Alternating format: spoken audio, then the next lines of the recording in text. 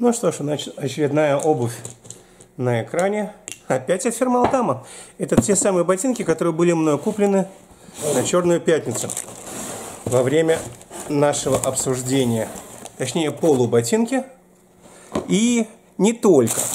Потому что эта фирма туда еще и засунула тот фонарик, который я вам показывал. Вот этот Тактика 250 люминовый фонарик. Вот он, прямо в коробку его засунули.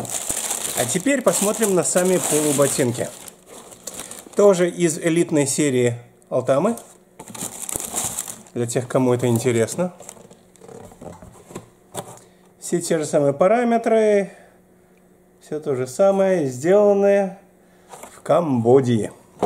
Камбоджи.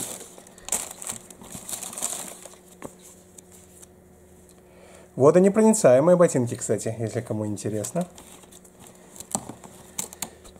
Вот, так вот они выглядят. Серия у нас, соответственно, а будто bad. Как будто плохо, если так вот в шутку перевести.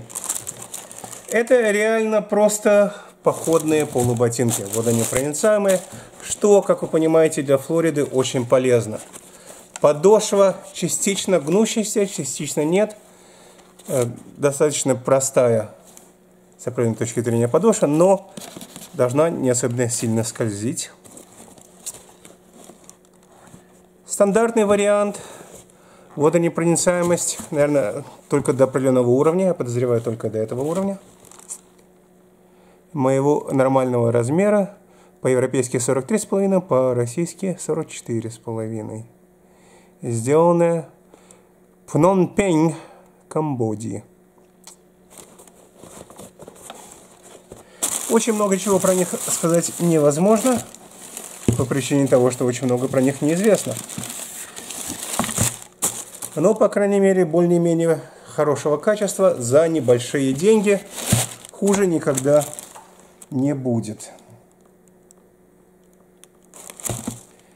Теоретически это подразделение у Алтамы работает чуть получше, чем э, обычное. Хотя у них, в принципе, много подразделений. Сейчас посмотрим, что у них тут написано.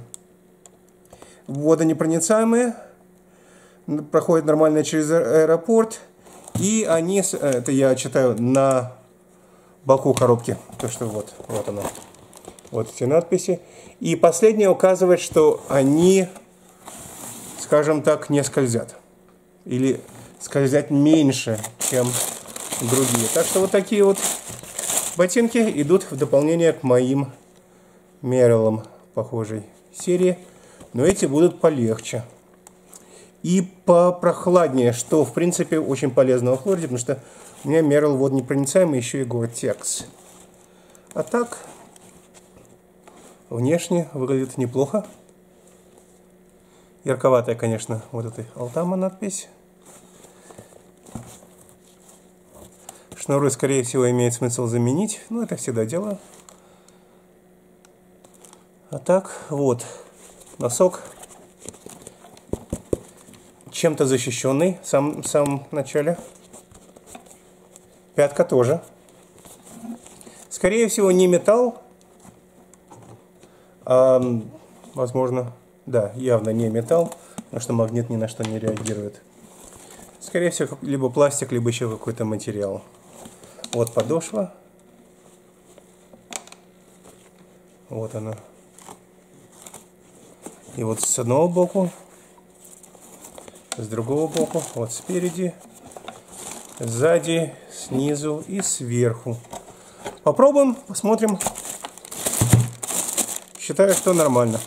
Я обувь разнашиваю достаточно быстро, поэтому я считаю, что такое приобретение мне в шкаф будет принесет только пользу.